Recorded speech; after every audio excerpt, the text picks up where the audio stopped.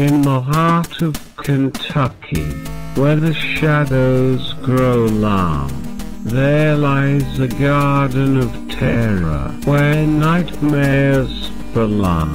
A holly bush deceiver with whispers so sly. It lures in the last souls where they come to die.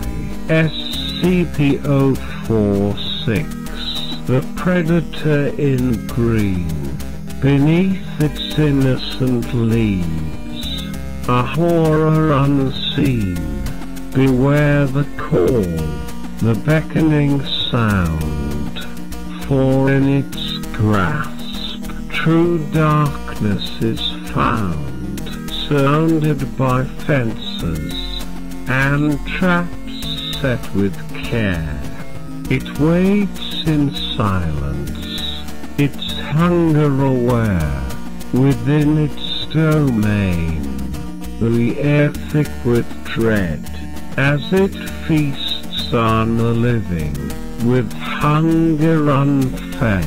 SCP-046, the predator in green, beneath its innocent leaves, a horror unseen, beware the call, the beckoning sound, for in its grasp true darkness is found, through the mist and the gloom, its presence does loom, a force of nature, shrouded in doom, the innocent facade, a mask of deceit, as it claims its victims in a sinister feat. Hallucinations dance, a twisted ballet, drawing in victims who've lost their own way. With each step they take, closer to the abyss, they falter the holly in a final, deadly kiss.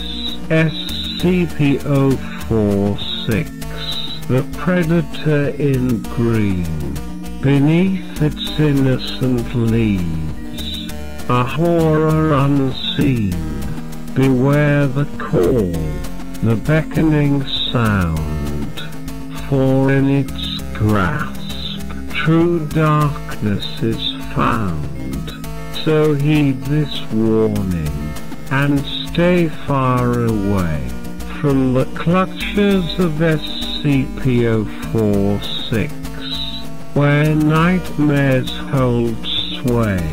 For once you're ensnared, there's no turning back. In the land of the holly, where the light fades to black,